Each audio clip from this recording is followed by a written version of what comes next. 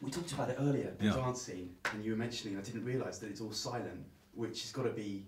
Yeah, some was. uh, some of it was silent, which still leaves you having to do. Mm. You guys are rocking some amazing dance moves. Do you Yeah. really- High five to that.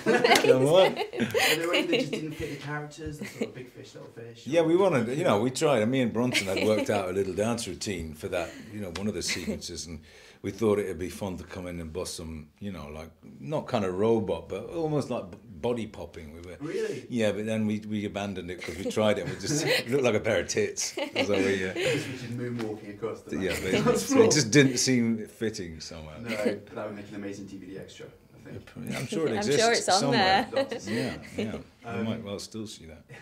Um, you mentioned that you hadn't seen the film Mhm. going into it for, for you know, good The original. The original, Yeah. sorry, yeah, of course. Did, had you seen the original? No. Had you seen, no. no. Because Flo's a bit different. I guess she's one of the characters that's the most changed, I suppose. Yeah, and, and yeah, I believe so.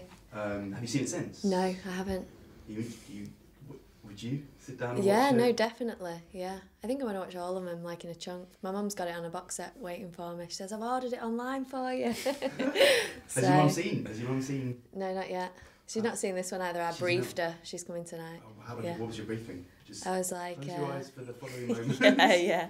So, but yeah, I feel like um, with it being an adaptation, Yeah. um, you know, and it being so different in so many ways, Yeah. like to watch it, and obviously like Flo being so different in the original, yeah, to watch it would have kind of has been more of a hindrance, yeah. Yeah. So Um, got to ask you about the, the duck the duck pond. I mean, it's great to have a chase scene. I Mm. suppose I don't know. They must be kind of painful to shoot because it takes so long. What about the actual duck moment? Is there any ducks harmed in the making of that scene, or There were no ducks. It's one of those classic duck ponds where there are no ducks within four miles. I don't know why they call them duck ponds. That- sort of sorry? There was nothing. I mean, th- th- they, they just it was like they, you know, you have this thing you can't you can't get any like of your orifices, for want of a better word, under the water. I can't believe I said the word orifices in it. you can't get it in the water because they can't test for this thing called Weil's disease, which is Yes, like uh, undetectable, but it, it kills you within like three days. So they just launch that one on you, then say, now if you'd like to get into the water. So you spend the whole time gingerly making sure you don't get splashed or anything. And they said, uh, they said, you know, just you know, get, it's fine, just go in. So I ran up to the edge and I took a step, and the bottom was all like uneven. So I, the first time I just went and Went yeah, under. Yeah, And your orifices were. I was completely drenched, Oh. and all my orifices were full of water. so then it was like we've got three days before this guy's dead. So, you know, let's let's get as much as we can. There's there's apocryphal, I think, stories of Scarface and eating actual cocaine. I'm sure you didn't do that. What do you use for for for cocaine? I think there. Well, it was a weird. I don't know what it was exactly. It was glucose, Um, yeah, like glucose, and they had bicarb at some point, but because you have to do so many takes, and poor Bronson, we were doing a scene, and he was like, his nose was getting redder and redder and more inflamed.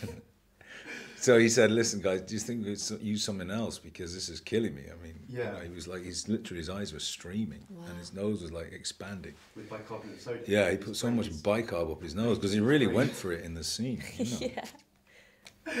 Is it harder to act coked up or drunk? Because obviously in grabbers you're going to be substantially Hammered. tipsy. Yeah. Is it what's and because they're both the the drugs do play into the characters in quite a sort of obvious way and it impairs their judgments, especially for mm-hmm. Frank, I guess.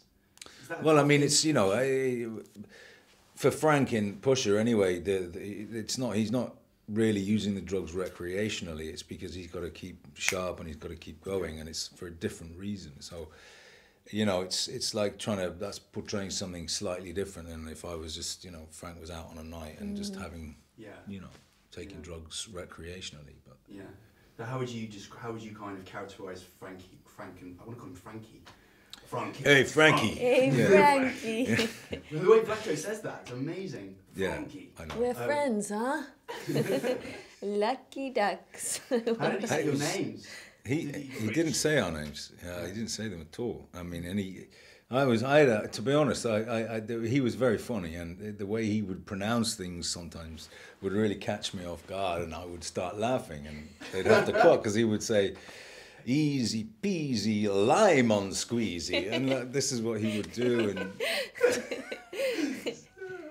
He's- But he's amazing. he's amazing, and it's just Oh, it was so incredible good. watching him because he came and uh, you know he sort of arrived and he came in for three days or something, and and uh, he was so present and like alive and electric, even though he doesn't really speak English. Mm.